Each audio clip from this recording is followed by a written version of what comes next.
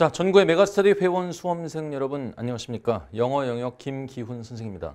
자, 우선 사상 초유의 그런 COVID 19 상황에서 여러분들 학교도 제대로 등교 어, 못하고 있었던 상태고 자, 이 정말 뒤숭숭하고 우리가 normal 이 정상적인 상태를 잃어버리고 이 new normal에 적응해 가는 과정에 있어서 자, 이렇게 시험 보느라 정말 애 많이 썼습니다.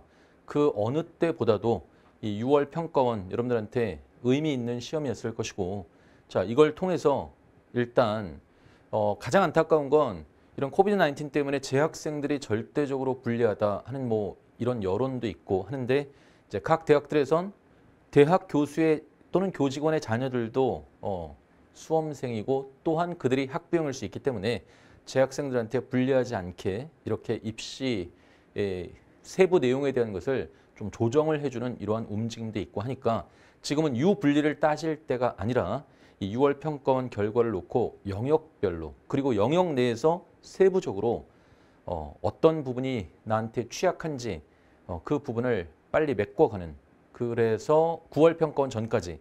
여러분들 여기서 나타난 문제점을 전부 다 어, 낱낱이 파헤쳐서 부족한 점을 확실하게 메꾸고 잘하는 부분은 더 잘하게끔 어, 만들고 그렇게 하고서 이제 9월에 6월보다 훨씬 더 여러분들이 향상된 그리고 안정된 그러한 점수대, 등급대에 진입을 하고 자 그러한 것을 이 막판 스퍼트로 몰아붙여서 실제 수능까지 가는 그러한 새로운 로드맵을 설정해야 될 때라고 생각합니다. 자 그러면 이제 6월 평가원에서 이제 구간별 심층 분석을 합니다. 일단 구간별이라고 한다면 사실 18번 목적이라든가 19번 심경이라든가 사실 이런 건 틀리면 안 되죠. 그래서 안 합니다. 그래서 이제 2024, 20번부터 24번까지 어, 주장하는 바 그리고 함의 추론 그리고 요지, 주제, 제목으로 연결되는 이러한 대입학 유형에 대한 걸 한 묶음으로 자 그런 다음에 이제 도표라든가 내용 일치라든가 자료 해석이라든가 또 이런 거 틀리면 안 되겠죠. 건너뛰고 2930 이 어법과 어휘에 대한 걸 한 구간으로 자 그리고 이제 어, 최대의 격전지가 되는 거죠. 이 수능 영어 영역에 있어서 뭐 해마다 그래 왔습니다.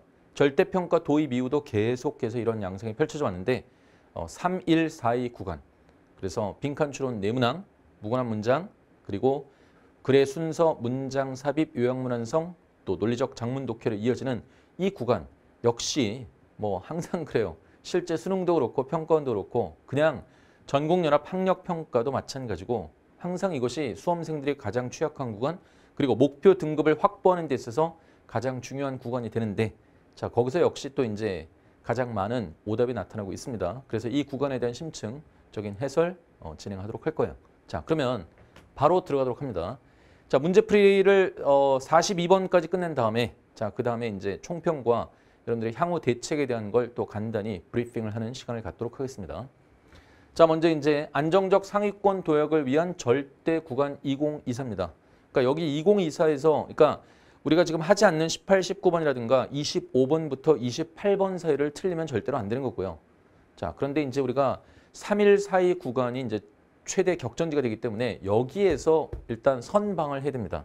그러니까 하나도 틀리지 않는 것이 중요하겠죠. 아, 물론 이제 최상위 등급을 목표로 한다고 그랬을 때 그런 것이고 자, 이제 여러분들의 목표 등급에 따라 달라질 수 있겠지만 자, 이런 대입학 유형 어, 틀리지 말아야 됩니다. 근데 이제 이 안에 사실 우리가 21번에서 이제 붙박이로 유형이 고정되어 있는 자 이런 함의 추론에 대한 거 이거 잘해야 되겠죠. 근데 이게 좀 쉽지 않을 겁니다. 자 대응책을 확실하게 마련해 주도록 할 테니까 자 가보도록 하죠. 먼저 20번부터 들어갑니다. 뭐 정답률 82%니까 틀리는 게 이상한 그 정도의 쉬운 난도였어요. 비연계였고요. 자 주장하는 바를 명확하게 찾으면 됩니다. Occasionally, individuals do not merely come out as well as clearly state what is troubling them and instead select more indirect means of expressing their annoyance 하고 나오는데 첫 문장부터 사실은 근데 해석 능력이 좀 부족하다 그럴 때 좀 딸릴 수가 있어요. 그러니까 사실은 당황스러운 게난 merely 했으면 이게 not only랑 마찬가지이기 때문에 but also 정도가 나와줘야 되는데 여기서 지금 as well as가 나오는 바람에 좀 이제 약간 뭐지? 하고 멈칫할 수 있었을 텐데 에스웰에서 알잖아요. 뒤에 것뿐만 아니라 앞에 것도. 그런데 not 하고 부정이 들어가 있으니까 어, 아니다라는 이런 부정으로 이해를 해주면 되겠죠. 그러니까 때때로 개인들이 do not merely come out. come out이라는 말은 표현하다는 뜻입니다. 자, as well as clearly state. 그러니까 명확하게 state란 말이 동사를 쓰면 진술하다. 명확하게 진술하는 것뿐만 아니라 표현하는 것조차 잘 못해요. 이런 얘기를 하고 있죠. 뭐를 What is troubling to them? What is troubling them? 그들을 뭔가 곤란하게 만드는 것. 그러니까 문제 제기를 하고 있죠 지금. 딱 읽으면서 느낌이 와야 돼. 그러니까 문제 제기를 하고 있습니다. 그리고 select more indirect means of expressing their annoyance. 자, 간접적인 수단, 그들의 짜증을 표현하는 보다 간접적인 수단을 선택을 해요. 이해됐어요? 근데 이제 좀 문제라는 걸 빨리 우리가 인식을 할 수 있어야 돼. 그럼 이제 해결책이 나와야 될 텐데 One companion might talk to the various other 해서 지금 어떻게 나오고 있습니까? 예시가 주어지고 있죠. For example 이라는 표현은 없지만 예시예요. 근데 이제 이게 주제문이라 할 수는 없지만 분명히 지금 problem을 제시하고 있다는 거. 아니 그러니까 뭔가 짜증나는 부분이 있다면 그것을 제대로 이야기를 해야 될 텐데 그렇게 자기를 지금 힘들게 만들고 있는 것에 대해 명확하게 표현하지도 못하고 어 그냥 그것을 명확하지 않더라도 그냥 표현을 진술을 하지 못하고 명확하게 표현도 못하고 그냥 어 간접적인 보다 간접적인 그들의 짜증을 표현하는 어, 수단을 선택을 해버리는데 그러면서 거기에 대해서 이제 자세하게 뭐가 예시가 등장하고 있어요. 어, one companion might talk to various other. 자, 한 동료가 다양한 다른 동료한테 이런 식으로 말을 할 수가 있는데 어떤 식으로냐? That is condescending. Condescending 하면 공학계 뜻을 줬습니다. 거들먹거리는 방식. 그리고 또한 indicates underlying hostility. underlie라고 한다면 이제 아래에 놓여 있다해서 좀 근본적인 또 아래에 놓여 있다는 얘기니까 이제 한자어로 표현한다면 이제 기저의 그러한 어, hostility 하게 되면 이제 형용사 hostil의 명사으로서 적대감 이런 뜻이죠. 기저의 적대감을 나타내는 그러한 방식으로 어, 다양한 다른 사람들한테 표현을 해요. 그렇게 되면 어떨까요?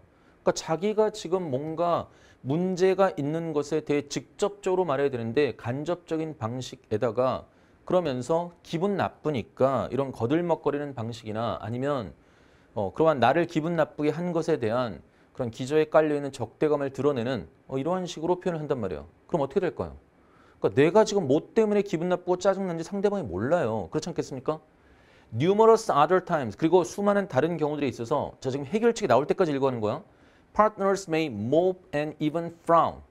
자 파트너들은 음? 서로 이제 관계를 맺고 있는 파트너들은 뭔가 mope, mope란 말은 뜻이 주어졌습니다. 울적해하거나 아니면 심지어 frown이라는 말은 인상을 찌푸리다는 뜻이에요.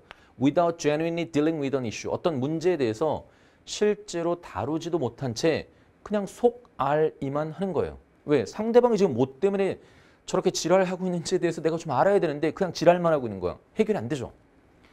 자, companions 그러면서 계속해서 지금 예시가 이어지고 있어요. companions may likewise 마찬가지로 merely prevent discussing an issue 어떤 문제에 대해서 논의하는 것 자체를 피해버려요. 뭐함으로써 by swiftly switching over topics 재빠르게 주제를 바꿈으로써 언제 그러한 주제가 turn up 이란 말은 나타나다 등장하다 자 아니면 by being incredibly vague 아주 믿을 수 없을 정도로 모호한 상태가 됨으로써 계속해서 문제 제기에 대해서 거기에 대한 예시가 세 가지로 이어지고 있는데 해결책 안 나오네요. 그러면서 이가 나오길 such indirect ways of expressing temper. temper란 말은 성질 이런 뜻이에요. 아 누군 진짜 성질 없는 줄 하나 할 때 그 성질이야. 알겠죠? 그러니까 그런 성질, 화난 거를 표현하는 그러한 이 간접적인 방법들은 are not useful. 별로 유용하지 않습니다. Since they don't provide the individual that is the target of the behaviors. 자, 그러한 행동의 타겟이 되고 있는 그 개인한테 an idea of exactly how to act. 정확하게 어떻게 반응해야 되는지를 알려주지 못하니까. 자, 여기서도 역시 뭐가 나오고 있어요? 문제 제기가 나오고 있습니다. 그러니까 해결책은 안 나와. They understand their companion is irritated. 자, 그들이 그들의 동료가 화났다는 것은 이해를 하지만 but the absence of directness 이러한 직접성에 대한 결려가 leaves them without advice. 조언이 없는, 충고가 없는 채로 내버려 두게 만드는데 뭐에 대한 충고나 조언이냐? regarding what they can do to solve the, solve the issue. 그 문제를 해결하기 위해서 그들이 할 수 있는 것에 관한 어, 아무런 조언도 없이. 계속해서 문제 제기만 하고 끝났죠. 해결책이 명확하게 나와주면 좋겠지만 자 계속해서 문제점을 정확하게 얘기를 했기 때문에 그 문제점을 제거하는 것 자체가 해결책이 돼버리는 거죠. 짜증나는 일 있으면 어 직접적으로 말해야 그래서 그러한 이슈 어, 문제점과 쟁점에 대해서 해결해야 한다 이렇게 되는 거죠. 그러니까 우리가 이거를 사실 지금까지 주장하는 바가 나왔으면 주장하는 바가 명확하게 나오는데 지금 명확하게 나오지 않고 문제 제기만 하고 있었던 상황입니다. 그러니까 프로블럼이 제시된다고 한다면 프로블럼은 당연히 토픽을 던지는 것이고 그리고 이 문제 제기에 대해서 해결책이 나와줘야 그 해결책이 메인 아이디어가 되는데 자 지금 해결책이 없는 상황이라고 한다면 어떻게 그러면 되, 어떻게 이해하면 되겠어요? 문제를 제거하는 것 자체가 해결이 되는 거죠. 그러니까 뭔가 문제점이 있으면 직접적으로 이야기를 해야 된다. 알겠죠? 뭐 이렇게 말하면 알아듣겠지. 내가 이런 식으로 태도를 취하면 어 지가 왜 그런지 이해를 하겠지. 이건 아니라는 거죠. 직접적으로 문제점에 대해서 이야기할 필요가 있다. 이런 얘기가 되는 겁니다. 그래서 이성보다는 감정 그런 얘기 나오지 않았고요. 무슨 뭐 reason이나 emotion이라는 건 아예 어휘조차가 등장하지 않았어요. 상대방의 기분을 상하게 하는 행동을 자제해야 된다라고 낚이면 안 되겠죠. 문제를 표출할 때는 항상 indirect한 것이 어, 효과가 없기 때문에 디렉트하게 직접적으로 문제에 대해서 밝히라는 얘기였습니다. 그래서 3번이 답이 되겠죠. 그렇지? 그러니까 지금까지 기출됐었던 주장하는 바에 비해서 사실 주장하는 바를 묻게 되면 정말 주장하는 바가 하나의 문장으로서 타픽 센텐스로서 명시가 되기 때문에 어, 사실 그것만 빨리빨리 빨리빨리 훑어서 해결할 수 있었지만 이렇게 문제 제기로 시작하고 끝까지 해결책이 나오지 않기 때문에 자 해결책을 짜자 끝까지 읽다 보면 어, 정확한 해결책은 필자가 제시하지 않았지만 어, 문제에 대한 본질을 정확하게 밝혔기 때문에 그 문제를 제거하는 것 어, 이것이 바로 답이 될 수 있는 그런 구조라 자 평소에 우리가 봤었던 주장하는 바에 비해 지문을 끝까지 읽어야 되는 이런 부담감이 조금 있기는 했습니다.